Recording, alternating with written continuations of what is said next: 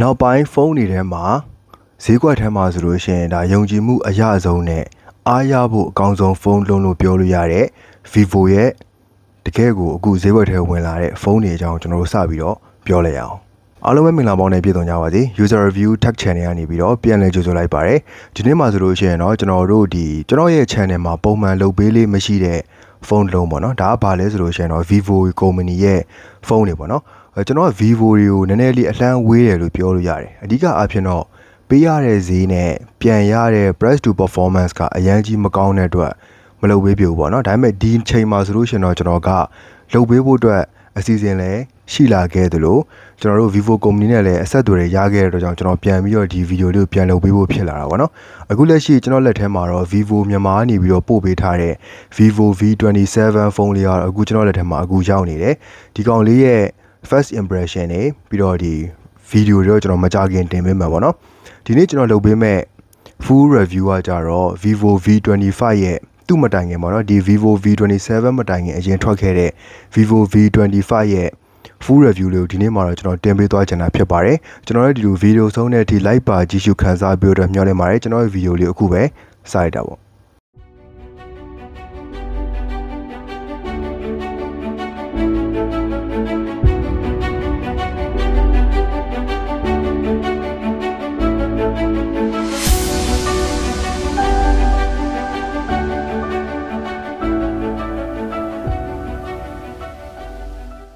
စပြီးတော့ပြောရမယ်ဆိုလို့ရှိရင်တော့ Vivo က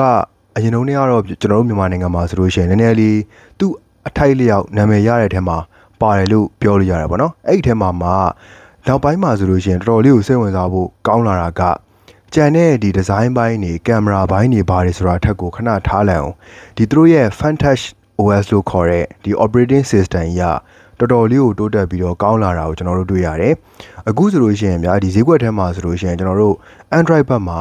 OS အကောင်းဆုံးလို့ပြောမယ်ဆိုလို့ရှိရင်တော့ Google ရဲ့ Pixel တွေကိုတွားပြီးတော့မြင်ကြမှာဖြစ်တယ်လို့အဲထပ်ပြီးတော့ပြောရမယ်ဆိုတော့အခုနောက်ပိုင်းမှာတော်လေးကိုတိုးတက်ပြီးတော့ဒီ innovative နဲ့ဒီ improvement အရန်ဖြစ်လာတဲ့အာဒီ Samsung နေရဲ့ UI တွေကိုလည်းကျွန်တော်တို့က short တွက်လို့မရဘူးအခုဒီ Fantouch OS ဆိုလို့ရှိရင်လည်းအခုနောက်ပိုင်းမှာတော်တော်လေးကို modify ဖြစ်လာပြီးတော့ခင်းနဲ့အညီလိုက်ပြီးတော့လှုပ်လာနိုင်တာကိုကျွန်တော်တို့တွေ့ရတဲ့အတွက်ကြောင့်ကျွန်တော်ဒီ Vivo လေးကိုစမ်းမှုတော်တော်လေးကိုစိတ်ဝင်စားသွားတယ်ပေါ့နော်အဲဆိုတော့ ဟိုဘာမှမပြောခင်စပြီးတော့ဒီကောင်ရဲ့ OS နဲ့ပဲကျွန်တော်တို့စပြီးတော့ပြောလိုက်အောင် Fantouch OS ပေါ့နော်ကျွန်တော်တို့ ਨੇ နည်းနည်းလေးအလန်းဝေးတယ်။ तू ကနည်းနည်းလေးတော့ရှုပ်တယ်အခုဒီ Android 13ပေါ်မှာ base လုပ်ထားတဲ့ Fantouch OS တွေအောင်မှအခုချိန်ဒီကိုသုံးရတာတော်တော်လေးကိုဒီ confuse ဖြစ်ပြီးတော့ရှုံရှုံနေတော့မယ်လို့ပြောလို့ရတယ် သူကအရန်ကြီးမယိုးရှင်းဘူးဗျာကျွန်တော်တို့ဒီ Google ရဲ့ဟိုဒီ OS တွေပြီးသွားရဆိုလို့ရှိရင် Samsung ရဲ့ UI တွေ Realme တို့ Oppo တို့ရဲ့ဒီ UI တွေကိုသုံးမှုတဲ့သူတွေဆိုလို့ရှိရင်တော့ဒီ Vivo ရဲ့ဟာကြီးကိုဘလို့မှအဆင်ပြေမှာမဟုတ်ဘူးနည်းနည်းလေးတော့ရှုပ်နေတယ်လို့ခံစားရလိမ့်မယ်ဒါပေမဲ့သုံးရင်းသုံးရင်းနဲ့တော့အသားကျလာတယ် तू ကထားတဲ့ထားထိုက်တဲ့နေရာတွေမှာမရှိရပါဗျာဟိုဥမာ setting နဲ့ဝင်လိုက်ပြီဆိုလို့ရှိရင်ကျွန်တော်တို့အောက်ဆုံးမှာဒီ about phone တွေပါရှိရမယ့်နေရာမှာ तू ကမရှိဘဲနဲ့ system update ကြီးကအပေါ်ရောက်နေတာမျိုးလို့အဲ့လိုမျိုးပေါ့နော် तू ဟိုဖုန်းလုံးများပါကျွန်တော်တို့သုံးနေကြဖုန်းလုံးမှာသူ့နေရာနဲ့သူရှိရမယ်ဆိုတဲ့နေရာတွေမှာမရှိဘဲနဲ့သူကနေရာလေးတွေနည်းနည်းလေးလွဲလွဲနေရာလေးကနည်းနည်းလေးသုံးရတဲ့သူတွေအတွက်နည်းနည်းလေးရှုပ်တယ်လို့ပြောရမှာပေါ့နော်ကြံတာတွေအကုန်လုံးမှာတော့ all rounder တော်တော်လေးကိုကောင်းတယ်လို့ပြောလို့ရတယ်ကျွန်တော်တို့ကျွန်တော်တို့ build quality နဲ့ပဲစပြီးတော့ပြောရမယ်ဆိုလို့ရှင်တော့ဒီဖုန်းက ဘယ်လိုပဲကြည့်လိုက်ကြည့်လိုက်ကို premium quality ဆန်နဲ့ flagship phone လုံးကင်နေရတယ်ဆိုတဲ့ခံစားချက်ကလုံးဝကိုရတယ်ပေါ့နော်အဲ့လိုမျိုးဖြစ်အောင်လဲ तू ကဘေးပေါင်တွေကို၄တောင်နေလောက်ထားပြီးတယ်အာမှတ်တမဲ့ကြည့်လိုက်မယ်ဆိုလို့ရှိရင်ပဲအနောက်ဘက်ကကင်မရာဒီဘန်ကြီးရောပြီးသွားပြီဆိုလို့ရှိရင်ဘေးပေါင်တွေရောကြည့်လိုက်မယ်ဆိုရင် iPhone နဲ့ Draw လေးကိုဆင်တာကိုတွေ့ရလိမ့်မယ်။ तू ကလည်းအဲ့လိုမျိုးဖြစ်အောင်ကိုတသက်မဲ့ကိုလှုပ်ထားပြီးတာလို့ပြောလို့ရတာပေါ့နော်။ အဲဒီနေရာမှာအောက်ဘက်မှာဆိုလို့ရှိရင်တော့ speaker ပေါက်လေးပါတယ်ပေါ့နော်။အပေါ်ဘက်မှာဆိုလို့ရှိရင်တော့ stereo speaker မပါဘူး။ဒီဖုန်းမှာကျွန်တော်တခါတည်းကြိုပြီးတော့ back quality ကိုပြောရင်းနဲ့ထည့်ပြောချင်တာ stereo speaker ပေါ့နော်။ဒီကောင်က stereo speaker မရဘူး။ Yoda mono down firing speaker တစ်ခုပဲပါတယ်။အဲကျွန်တော်တို့လိုမျိုးဟိုနေတူဝါမှာ ဒီ stereo speaker တွေကိုသုံးနေကြသူဆိုလို့ရှင်တော့ဒီကောင်ကတော်တော်လေးကိုအားနေတယ်လို့ပြောလို့ရတယ်။သူ့ရဲ့ stereo speaker မပါတာကတော်တော်လေးကိုတည်တာတယ်။ဟိုအတန်ကျယ်လို့ရှိရင် quality မကောင်းလားဆိုတော့အဲ့လိုလည်းမဟုတ်ဘူး။အတန်လည်းကျယ်သူတို့ quality လည်းကောင်းတယ်။ပြက်ပြက်တသားလည်းကြားရတယ်။ဒါပေမဲ့ဘလို့မဟုတ် stereo speaker တစ်လုံးမှာရတဲ့ဒီ excellence ဖြစ်တယ်ဆိုတဲ့ feel ကလုံးဝမရဘူးပေါ့နော်။အဲ့ဒါလေးတခုကတော့အားနေတယ်လို့ပြောလို့ရတယ်။ပြီးတော့ build quality ကိုပြန်ဆက်မယ်ဆိုလို့ရှိရင်တော့ body build quality ဘိုင်း design ဘိုင်းကတော့ဘာမှကိုပြောစရာမလိုတကယ်ကို flash ဆန်တယ်တော်တော်လေးကိုမိုက်တယ်လို့ပြောလို့ရတာပေါ့နော်ပြီးတော့ကျွန်တော်တို့အရှိဘက်က display ကိုတွားကြည့်လိုက်မယ်ဆိုလို့ရှိရင်တော့6.44 inches အကျယ်ရှိတဲ့ super amoled ကိုသုံးထားပေးတယ် 120 Hz refresh rate တော့မဟုတ်ဘူးသူက90 Hz တွေပဲရတာပေါ့နော်ဒါကလည်းနည်းနည်းလေး down firing ဖြစ်နေရလို့ပြောလို့ရှိရင်တော့ downgrade ပေါ့နော် downgrade ဖြစ်နေရလို့ပြောလို့ရှိရင်ပြောလို့ရတဲ့အစိပ်ပိုင်းတစ်ခုတည်းမှာတော့ပါတယ်ထပ်ပြီးတော့ကျွန်တော်မကြိုက်တာကအပေါ်မှာ notch ကြီးနေပေါ့နော်အခု2020နှစ်ပေါ့ထားပါတော့ဒီဖုန်းက2020မှာထွက်ခဲ့တယ်ပဲထားပါတော့အခု2023နှစ်လယ်လောက်ကိုရောက်လာတဲ့အနေအထားမှာပန်ရှိုးမဟုတ်ဘဲနဲ့ဒီလိုမျိုးအပေါ်ကနေပြီးတော့ နော်ရှိနဲ့ဆိုတာတော့ဘလို့မှလက်မခံနိုင်ဘူးလို့ပြောလို့ရတယ်ဈေးရလည်းမသေးဘူးလေဒီကောင်နေဆိုလို့ရှိရင်ဒါအခုချိန်ဒီကို use ဝယ်မယ်ဆိုရင်တော့မှ6သိန်း10သိန်းဝန်းကျင်လောက်ရှိနေသေးတာဆိုတော့ဟိုပြောရမယ်ဆိုရင်တော့အဲ့လိုမျိုးနော်ရှိနဲ့ကတော့လက်မခံနိုင်ကြတော့ကောင်းတယ် အဲဒါပေမဲ့အဲ့ဒီ notch လေးဖြစ်နေတာတခုပဲကျန်တာတွေအကုန်လုံးက panel quality မှာလည်းတော်တော်လေးကိုကောင်းသလိုဒီ brightness တွေပါလည်းလုံလောက်အောင်လင်းတယ်လို့ပြောလို့ရတယ်ပြီးတော့သူကအပိုစာသားတွေဘာမှတိတ်မလုပ်ဘဲနဲ့ site မောက်တက်တွေပါတယ်မဟုတ်ဘူး fingerprint ဆိုလို့ရှိရင်လည်း under display fingerprint ကိုထည့်ထားပေးတယ် accurate ဖြစ်တယ်မြန်တယ် safe လည်းတော်တော်လေးကိုဖြစ်တယ်အဲ့ဒါကြောင့် display တစ်ခုလုံးမှာကျွန်တော်မကြိုက်တာကိုပြောရမယ်ဆိုရင်တော့အဲ့ 90s ဖြစ်နေသေးတာလေးတစ်ခုရယ်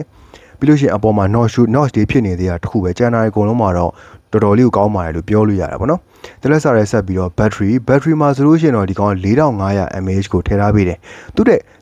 ဒီမှာကျွန်တော်လေးဒီ Vivo ချီးကျူးကြတာပေါ့နော်ကျွန်တော်တို့ Android ဘက်မှာဆိုလို့ရှိရင်ဗျာ battery အခန်းဆုံးဟို OS တွေလို့ဆိုလို့ရှိရင်ဒါ Huawei တို့ဘာလို့ပြေးပြီးတော့မြင်ကြတာပေါ့နော်ဒါပေမဲ့ Huawei ပြီးလို့ရှိရင်ဒီ Vivo တွေကကျွန်တော်အခုစမ်းသမျှဖုန်းတွေထဲမှာဆိုရင်တော်တော်လေးအားခံတယ်လို့ပြောလို့ရတယ်သူ့ရဲ့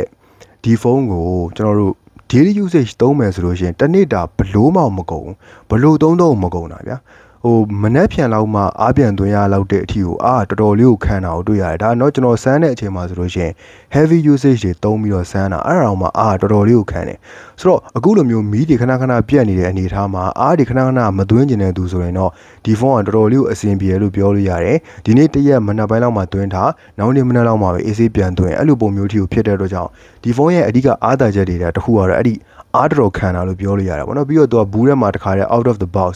44 watt fast charge ကိုထည့်ထားပေးတယ်44 watt ဆိုတာကလည်းအခုခေတ်ကာလနဲ့ချိန်ထိုးကြည့်မယ်ဆိုလို့ရှင်တော့နှေးတယ်လို့ခံစားရပါမယ်44 watt ဆိုတာကမြန်တဲ့နာထောင်မှာပိုမြန်နေသေးတယ်လို့ပြောလို့ရပါတယ်အဲ့ဒါကြောင့်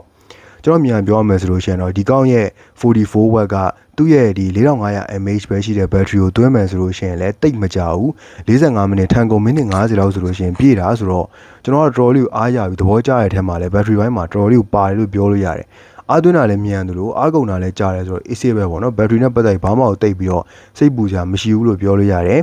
တရက်စားတယ်ဒီဖုန်းမှာအဓိက RAM ပေးထားတဲ့ SoC ပေါ့နော်။ The Snapdragon မဟုတ်ဘဲနဲ့ Dimensity 900 900ကိုသုံးထားပေးတယ်။ performance ကဘယ်လိုနေလဲဆိုလို့ရှိရင်တော့ flash အရန်မြန်တဲ့ performance တွေလောက်ထိတော့သူ့ကိုမျှော်မှန်းလို့တော့မရဘူးဒါပေမဲ့ daily usage တွေမှာကောင်းကောင်းမွန် run နိုင်တယ် app အဝင်ထွက်တွေမှာမလေးနေပဲနဲ့မဟန်းနေပဲနဲ့အကောင်းမွန်ဆုံးသွားနိုင်တယ်ဒါတွေကသူ့ရဲ့အားသာချက်တွေကတခုလို့ပြောလို့ရတာပေါ့နော်ဒါပေမဲ့ gain တွေကို heavy အရန်ဆော့မယ်ကိုကအရန်ကိုဒီဘယ်လိုပြောမလဲ graphic index အရန်ဖြစ်တဲ့ဟာတွေလုပ်မယ်ဆိုလို့ရှိရင်တော့သူ့ရဲ့ dimensity 900ဆိုတဲ့ကောင်ကအရန်ကြီးတော့မလိုက်နိုင်ဘူးအဲ့ဒါကြောင့်ဟို gain ကိုတင်းတင်းတလောက်ပဲဆော့မယ် daily usage ကို smooth ဖြစ်ဖြစ်ဖြတ်တန်းမယ်ဖုန်းကို heavy usage အနေနဲ့သုံးမယ်ဆိုလို့ရှင်တော့မှဒီကောင်တော်တော်လေးကို handle လုပ်ပေးနိုင်တဲ့ SoC တခုဆိုတာဘာမှပြောစရာမလိုဘူးပေါ့နော်ဒါပေမဲ့ကျွန်တော်ဦးနာပြောလိုက်သလိုမျိုးအရန်ကို heavy ဖြစ်တာတွေ graphic intense အရန်ဖြစ်တဲ့ဟာမျိုးတွေတွားမယ်ဆိုလို့ရှင်တော့တေချာပေါက်ကိုပူလာမယ်ပြီးလို့ရှိရင်ဟန်းတာတွေမနိုင်တာတွေဖြစ်လာနိုင်တယ်အဲ့လိုဟာမျိုးတွေမရှိဘူးဆိုလို့ရှင်တော့ဒီဖုန်းကတော်တော်လေးကိုကောင်းတဲ့ over all rounder package တစ်ခုလိုပဲပြောရမှာပေါ့နော် အဲပြီးတော့ကျွန်တော်အစားအဝိုင်းမှာပြောခဲ့သလိုပဲ speaker မှာဆိုလို့ရှိရင်လည်း mono speaker ဒီ single down firing speaker တစ်ခုပဲပါတာဖြစ်တဲ့အတွက်ကြောင့် quality ကအရန်ကြီးတော့မကောင်းဘူးပေါ့နော်အဲ့ဒါကြောင့်ကျွန်တော်ပြောချင်တာကဒီဖုန်းနဲ့ဒီ speaker အတန်နားထောင်မယ်ဆိုလို့ရှိရင်ဘယ်လိုမျိုးဖြစ်လို့ကျွန်တော်တို့ကတိတ်သဘောမကျဘူးလဲဆိုတာလေးကိုကျွန်တော်ဒါ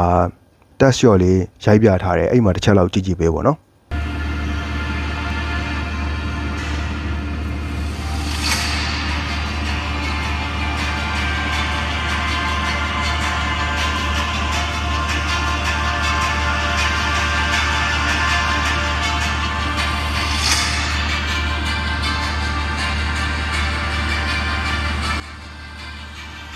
ဆိုတော့ speaker quality က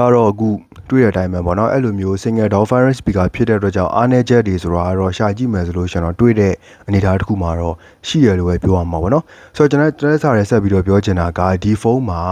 အဓိကအချက်တွေကသူတို့မီးမောင်းထိုးပြီးတော့ highlight လုပ်ထားတဲ့အချက်တွေကတစ်ခုဖြစ်တဲ့ကင်မရာပိုင်းပေါ့နော်ကင်မရာကိုကြည့်လိုက်မယ်ဆိုလို့ရှိရင်တော့အနောက်ဘက်ကကင်မရာဘန်ကြီးလုပ်ထားရလဲမိုက်တယ်လို့ကင်မရာတွေတွားထားတဲ့ပုံစံကလည်းမိုက်တဲ့အတွက်ကြောင့်ဒီဖုန်းနဲ့ဓာတ်ပုံရိုက်လိုက်မယ်ဆိုလို့ရှိရင်ဘယ်လောက်ထိကောင်းမလဲဆိုပြီးတော့မျှော်လင့်နေတဲ့သူတွေလည်းရှိရတဲ့အတွက်ကြောင့်ကျွန်တော်လည်းတေချာလေးတော့ရိုက်ပြီးတော့ စမ်းပြထားတာပေါ့နော်အဲဆိုတော့ကျွန်တော်ရဲ့ simple shot လေးအရင်တစ်ချက်ကြည့်ကြည့်ပေးပြီးမှပဲကျွန်တော်တို့ပြန်ပြီးတော့ discuss လုပ်တာပေါ့နော်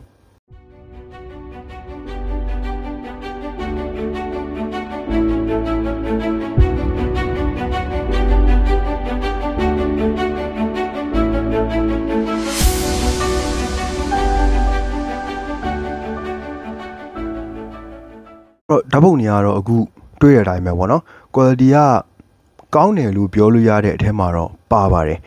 daylight ရှားတဲ့အချိန်တွေမှာရိုက်မယ်ဆိုလို့ရှိရင်ပုံတွေကတော်တော်လေးကို quality ကောင်းကောင်းလေးနဲ့ထွက်တာကိုတွေ့ရတယ်။ဒါပေမဲ့နည်းနည်းလေးမှောင်လာပြီဆိုလို့ရှိရင်တော့ lighting အားနည်းလာတာနဲ့အမျှသူ့ရဲ့ကင်မရာတိတ်မကောင်းတော့တဲ့အပိုင်းလေးကိုလည်းကျွန်တော်တို့တွေ့ရတဲ့ကြောင့်ညဘက်ဒီပိုင်းမှာရိုက်မယ်ဆိုလို့ရှိရင်တော့တိတ်တော့အဆင်မပြေနိုင်ဘူး။ဒါပေမဲ့ daylight ရှိတဲ့အချိန်တွေမှာရိုက်မယ်ဆိုလို့ရှိရင်တော့တော်တော်လေးကိုကောင်းကောင်းမွန်လေးနဲ့ run နိုင်တဲ့ဒါရုပ်ထွက်တွေကိုပေးနိုင်တဲ့ camera quality ဆိုတာလုံးဝညင်းစရာမရှိဘူးပေါ့နော်ဒါပေမဲ့ video ရိုက်မယ်ဆိုလို့ရှိရင်တော့ကျွန်တော်တို့အမြင်ကြီးတော့တွားမျောမှန်းရိုက်လို့တော့မရဘူး 4K မှာဆိုလို့ရှိရင်လည်း60 frame per second ထိတက်ရိုက်လို့မရသလိုဒါ 4K 60 frame frame per second တော့မရတာဗျာ 8K လောက်ထိတက်ရိုက်မယ်ဆိုလို့ရှိရင်တော့ဘလုံးမောင်မမီနိုင်တဲ့အနေအထားတစ်ခုမှာတော့ရှိတယ်အဲ့လိုမျိုးအားနည်းချက်လေးတော့ရှိတယ်အဲ့ဒါလေးတွေတော့တီးခံပြီးတော့ရိုက်ပေးရမယ့်အနေအထားတစ်ခုမှာတော့ရှိတယ်ပေါ့နော်ကြံကြံတဲ့ဒီ camera all rounder condition မှာဆိုလို့ရှိရင်တော့ကျွန်တော်ခုနပြောသွားသလိုပဲတော်တော်လေးကိုကောင်းတယ်လို့ပြောလို့ရတယ်ပေါ့နော် ဆိုတော့ဟုတ်ပြီဒီဖုန်းလေးကိုကျွန်တော် overall conclusion ပြန်ချုပ်ပြီးတော့ပြောရမယ်ဆိုလို့ရှိရင် Vivo ရဲ့ V25 ကဘယ်လိုနေလဲဆိုလို့ရှိရင်တော့ကျွန်တော်ရဲ့အမြင်ပေါ့နော်